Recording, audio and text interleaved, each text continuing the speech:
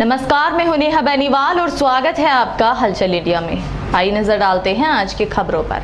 शामली में पत्रकार के साथ जीआरपी पुलिस द्वारा मारपीट की घटना सामने आने के बाद पूरे पत्रकार समाज में रोष व्याप्त है। आज बागपत के पत्रकारों में भी रोष देखने को मिला, जहाँ पत्रकारों ने पहले तो शामली की घटना के विरोध में प्रदर्शन किया और उसके बाद एडीएम बागपत को राज्यपाल के नाम ज्ञापन सौंपा। पत्रकारों ने घटना में लिप्त तमाम सिपाहियों की सेवा समाप्त करने की मांग उठाई है क्योंकि उन तमाम आरोपी पुलिस कर्मियों ने लोकतंत्र पर हमला किया है और पत्रकारों को सरेआम पीट कर उन्होंने नैतिकता को तार तार किया है। दरअसल पत्रकारों का विरोध शामली जनपद के एक निजी चैनल के पत्रकार अमित शर्मा की एसओ पी राकेश कुमार द्वारा पुलिस कर्मियों के साथ मिलकर बेरहमी ऐसी पिटाई को लेकर था। बीती रात एक ट्रेन हादसे की खबर के दौरान एसओ जीआरपी ने पत्रकार अमित शर्मा की लात घूसों से बेरहमी से पिटाई कर दी थी और हवालात में बंद कर दिया था। इतना ही नहीं, पत्रकार की पिटाई के बाद पेशाब पिलाने के कुकृत्य को अंजाम दिया गया था। बागपत में पत्रकारों ने महामहिम राज्यपाल के नाम ज्ञापन देते हुए दोषी इंस्पेक्टर के खिलाफ सख्त कार्रवाई की मांग की है और राज्यपाल से तमाम पुलिस कर्मियों की नौकरी सेवा समाप्त करने की मांग उठाई है। पत्रकारों में अनवर देवेंद्र चौहान, मनुदेव सिंह, दुष्यंत त्यागी, दिवाकर झा, हैदर मलिक आदि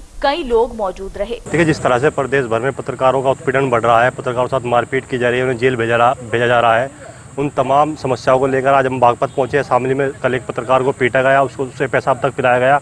उस घटना के विरोध में हमने महामहिम के नाम एक ज्ञापन सौंपा है ताकि प्रदेश में जो पत्रकारों का उत्पीड़न चल रहा है उस पर रोक लगे और जो शामली एस हैं जी जिन्होंने पत्रकार को पीटा उनके खिलाफ सख्त से सख्त कार्रवाई। देखिए प्रदेश भर में पत्रकारों का जिस तरीके से उत्पीड़न किया जा रहा है हुक्मरान के खिलाफ ट्वीट करने पर पत्रकार को जेल डाल दिया जाता है। ऐसे ही एक घटनाक्रम में शामली जनपद में एक पत्रकार की कवरेज के दौरान जीआरपी थाना अध्यक्ष और पुलिसकर्मी पिटाई कर देते हैं बेताशा यहाँ तक कि हवालात में ले जाकर उसके मुँह में पेशाब कर दिया जाता है।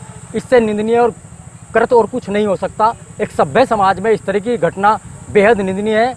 आज हमने महामहिम राज्यपाल के नाम संबोधित एक ज्ञापन दिया है डीएम बागपत को कि इस तरीके के जो कर्मचारी हैं, अफसर हैं उनकी सेवा समाप्त की जाए।